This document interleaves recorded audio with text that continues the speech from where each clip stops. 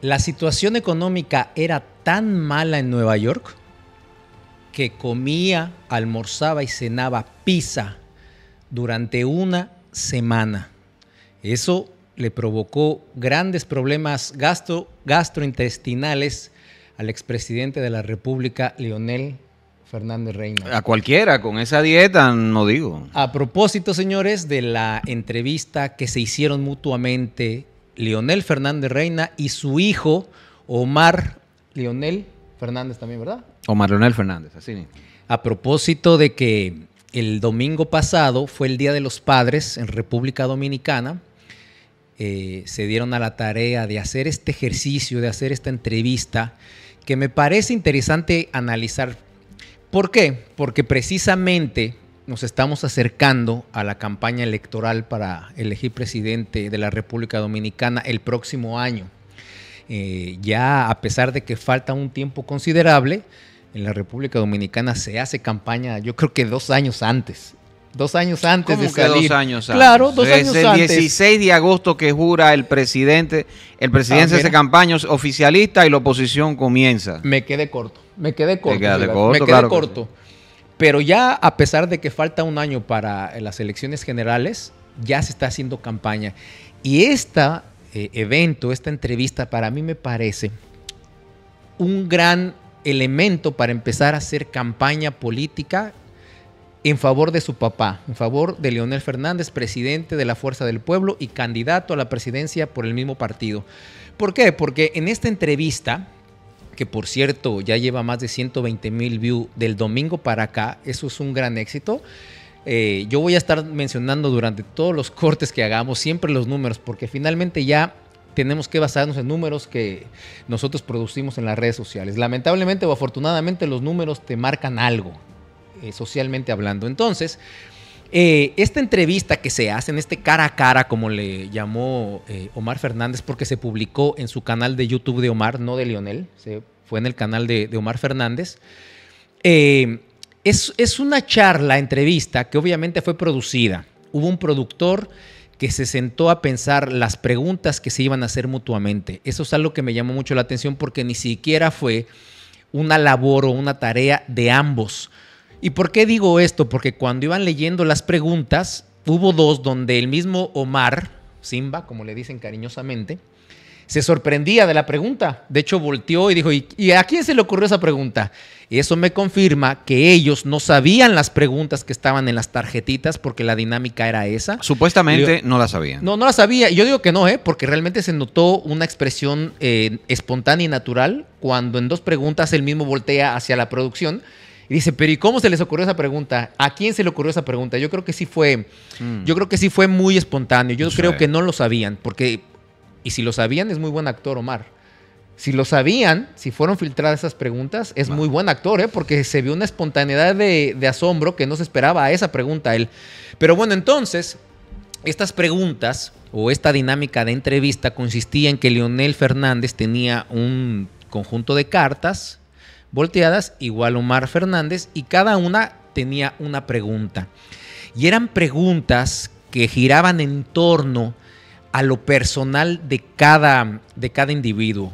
Es decir, fue una entrevista muy íntima, fue una entrevista de padre a hijo, no fue una entrevista de, de político a político o de expresidente a, a exdiputado o, o como ustedes lo quieran ver. Y eso me parece interesante porque yo nunca había visto a Leonel Fernández, nunca, desde que yo llegué a este país, yo nunca lo había visto hablar de ese tipo de temas. Fíjate cómo inicié este corte. O sea, él dijo que la crisis económica en la que está pasando cuando él vivía en Nueva York en un apartamentito, lo hizo comer, desayunar y almorzar pizza durante una semana porque no tenía dinero y eso le provocó graves problemas en, eh, gastrointestinales y que ahí fue que él descubrió que la leche eh, ayudaba a reducir la acidez y a, a que el estómago se pudiera poner un poco bien después de tanta pizza. Entonces, cuando va desarrollándose la entrevista, te vas dando cuenta que fue una estrategia para mostrar al expresidente como humano, como papá, con sus virtudes, con sus con sus sentimientos, con sus debilidades, cosa que no, yo no había visto en Lionel. Lionel siempre había mostrado una rigidez ante su vida privada, había mostrado una frialdad ante cosas que le tenían que preguntar con respecto de su familia y no se dejaba ver en estos años que yo llevo observándolo, yo no lo había visto así. Preguntas como ¿qué es lo que más te molesta de mí? le decía Omar. En la pregunta, papi, ¿qué es lo que más te molesta de mí? Y como buen padre, como dar el mensaje de que él es un excelente padre, lo que contestó fue, nada me molesta de mi hijo, nada. Para mí me siento muy orgulloso de ti. Y esas cosas, ese mensaje que se quiso dar con la entrevista, a propósito de que ya viene la, campaña electoral, me parece que fue el objetivo número uno, es mostrar a Lionel sensible, a Lionel padre de familia, a Lionel eh, más allá del intelectual, más allá del expresidente, esa, esa humanidad que a Lionel no se le conocía, no se le había visto en, programas de televisión ni, ni, de radio. No sé si tú lo habías visto en otras ocasiones, pero a mí me parece que eso es lo que va a cumplir esa entrevista. No, precisamente eso es lo que hace la entrevista. Eh, lo que hace es que... Entrevista no, la, el diálogo. El diálogo lo que hace es que eh, pone por, por, las nubes, ¿no? La, la, condición humana de Leonel Fernández, esto de padre, qué cosa me molesta de ti, claro que él no va a decir eso, pero por supuesto hay cosas que hacen los hijos que a los padres los molesta en momento dado. Eso, eso es así. Ahí el presidente no fue, el presidente no fue sincero. Los padres, los pa uno, uno enoja a los padres y en varias ocasiones, por supuesto que sí. Por ejemplo, yo te voy a decir una cosa. Yo siendo padre de Omar Leonel Fernández, que él me responda que el libro que él más le gusta ahora mismo es de que... ¿Cómo es que se llama? El origen, Dan Brown. El, el origen. No, algo así. El origen. Por favor. Eso, no. eso, esa ficción, ese, eso es cosa para. Eso es divertimento, eso es leer Paquito, eso es leer Samurai, eso es lo que yo leía de niño, Memín, Águila Solitaria, que está más o menos bien hecho, pero ¿Qué, tipo de bueno, profundidad pero, es esa? Pero y él me dice ahora, pero por lo, lo menos y, bueno, y después más o menos, ah, no, ahora estoy leyendo uno de Pedro Baños Bajo. Por lo menos diga algo para salir del paso. El Quijote, no, hombre. Yo no lo vi mal. Oye, oye, el Quijote. Eh, no, ya, eh, ya, está choteado, güey. 48 Emma, leyes de poder. Emma, 48 leyes ay, de poder. para vomitar. Ah, no, pero mejor eh, el Quijote. Eh. El Quijote es una obra maestra. Bueno. O por lo menos que diga, mira, para que no sea tan cliché y vamos a un lugar común. Pedro Páramo.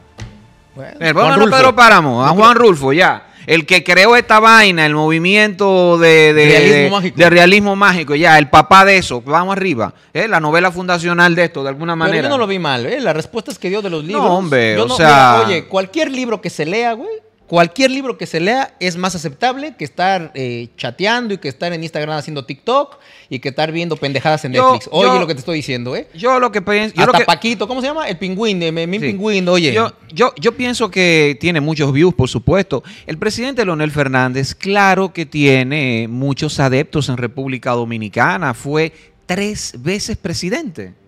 Así como tiene muchísima y, y altísima tasa de rechazo, porque dejó más pendientes, eh, dejó más pendientes, por supuesto que sí. Él tiene adeptos y que tenga 169 mil, que tenga 200 mil views, va bien y me lo puedo creer.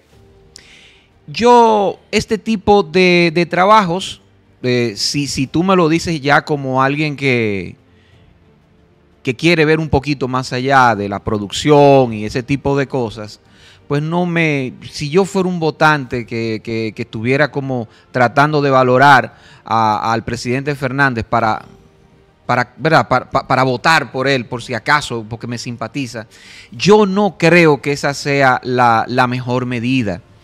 De hecho, de hecho, yo le recomendaría a la gente que no conoce a ese Leonel Fernández personal, eh, a que vea entrevistas que le hizo, por ejemplo, César Medina, que era un adepto de Leonel Fernández y de hecho claro, fue funcionario, fue- No, pero, leonelista, pero por leonelista, leonelista, leonelista. de Full, confeso full, y que hizo un trabajo, hizo un trabajo, hizo un trabajo político fino de 2000 a 2004, ¿eh? Invaluable, yo diría. Que lo llevó a ser embajador de claro, España. Que claro, lo llevó, no. ese trabajo al que te refieres, lo A llevó a, Chile embajador. primero y después cuatro España. años, los cuatro años, no lo No, quitaron ocho nunca. años, porque- No, bueno, cuatro y cuatro. Sí, porque exacto, Cuatro porque cuatro. primero estuvo en Chile Cuatro y y luego para. España. Y creo que en España siguió con, pisado con Danilo. Porque Eh, también le hizo no me ac- también le hizo el trabajo a Danilo Medina. No me acuerdo, no- Fue un trabajo fino el que hizo Sí, César eh, Medina, eh, sí. César, César Medina, eso uno lo tiene que reconocer. Claro, habrá gente que dirá, ah, bueno, que bueno, pero es que el, el periodista decidió hacer comunicación política y eso uno lo tiene que respetar. Pero aún así, las entrevistas que, hace Dani- que le hace César Medina, el difunto, a, a Leonel Fernández, ahí tú puedes ver cosas de su personalidad en, en algún momento. Y no es tanto por las preguntas, sino por, por digamos, por, por el diálogo, por cómo se abre en algún momento el presidente Fernández. Yo creo, Expresidente, es presidente. No, no, lo que pasa es bueno, que di presidente yo- del yo pueblo. lo respeto Entonces, a di todos. presidente de la fuerza del. yo, del- yo la del- investidura, la investidura la respeto. No, digo, no, pero presidente. Pero tengo a que Hipólito también le digo tengo que presidente. corregirte porque es expresidente. Sí, pero aquí. Expresidente de la República. Aquí, eso no se deja. Hay que cambiar eso. No, eh, mira. Hay que cambiar eso porque me parece Es que en la escucharte así como lambón, güey, ¿eh? Es que Como no, lambón. ningún lambón. Es que en la práctica, óyeme una cosa. En los temas nodales de este país, quienes deciden las vainas no, no son de que, que el consenso en esa meldería. Quienes deciden las vainas son Danilo Medina, Luis Abinader, Hipólito Mejía y Leonel Fernández. En las cosas nodales a nivel político y que tenga que, que hacer un engranaje con los otros poderes de las élites empresariales. Si ellos no deciden esa vaina, no hay para nadie. Por eso yo digo, presidente Fernández, por eso yo digo, presidente de Mejía. Y además te voy a decir una vaina. ¿Cómo es se maneja el presidente Leonel Fernández? Como presidente. No, no, pero porque. Él es un presidente. Porque los medios, porque los lambones que están allá atrás, de todos esos medios tradicionales, Pero- todos esos periodistas lambones que cobran de esos mismos. eh, Pero él es un de- de- presidente. le llaman así, presidente, pero no. No es presidente. Pero no Por es ejemplo, llama- Leonel Fernández ahora mismo es presidente del partido La Fuerza del Pueblo. Eso es verdad.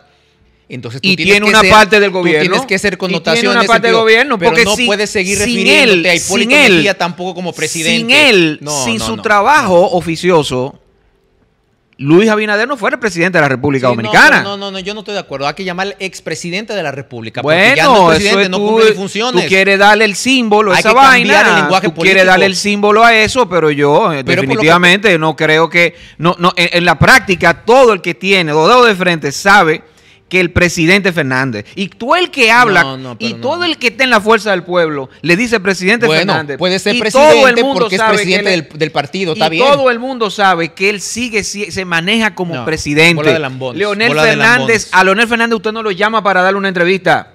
Leonel Fernández te escoge para dar la entrevista. Él decide si te va a dar la entrevista. Y sigue siendo así. ¿O pone un presidente?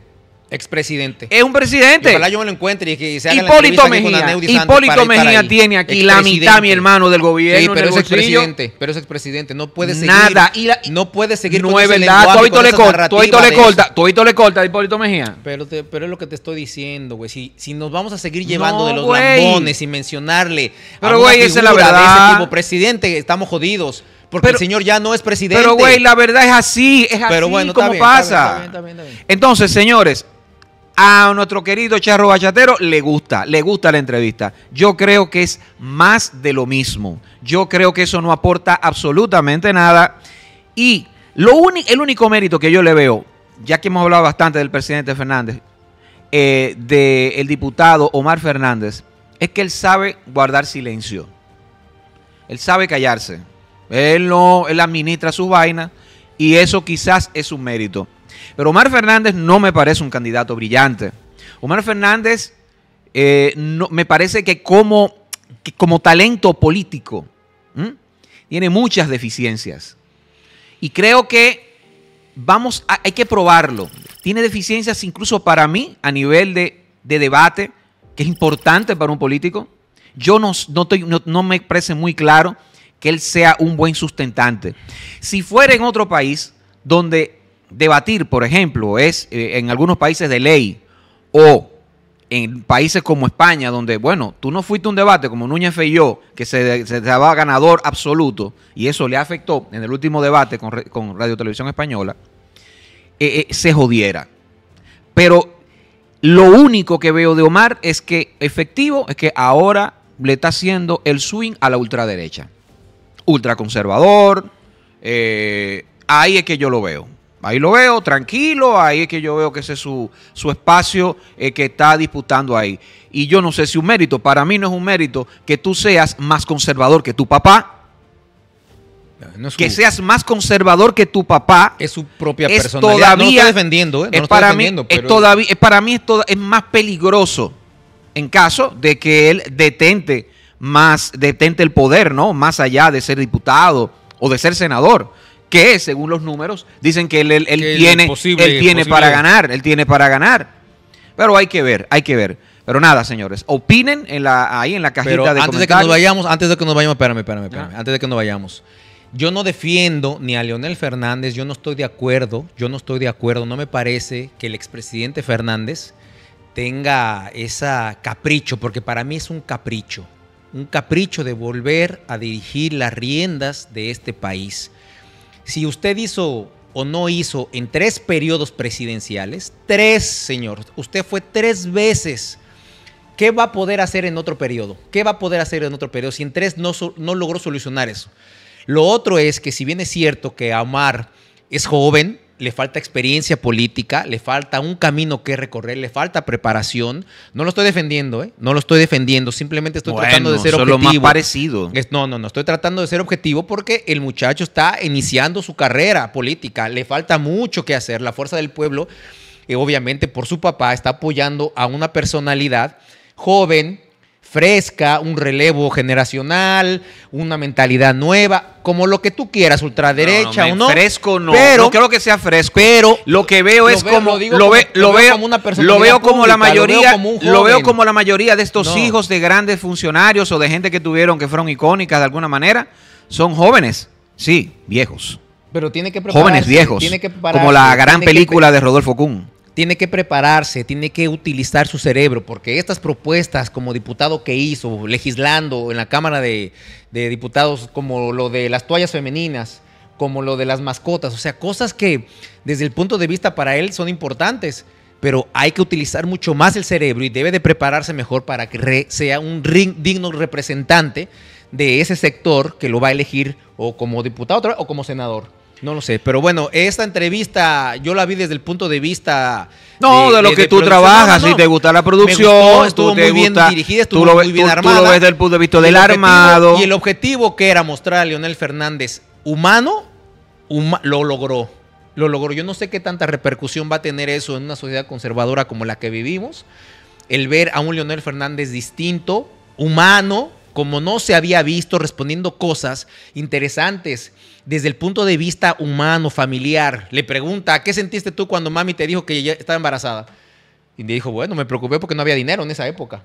Entonces, cosas así que finalmente le van a llegar, oye, le van a llegar al populacho, le va a llegar a la ama de casa, le va a llegar al padre de familia que va a empezar a identificarse eso por allá, Eso por allá sabíamos que el presidente Fernández en el año 1994-95 estaba complicado. Pero él andaba en un cepillo y que allá por la Agustina uno lo sabía porque él vivía por allá y uno sabía lo que había. Pero, por ejemplo, tú lo sabes porque tú eres una persona dedicada, estudiosa, ¿le? ¿Cuánta gente de allá afuera ahora mismo Estamos encargados, estamos encargados, estamos encargados de recordarlo. De recordarlo. Señores, y nos extendimos aquí en este corte. Recuerden comentar, darle like, activar campanita todo eso. Recuerden que esta es la quinta pata, el señor Fernando González y Edwin Cruz.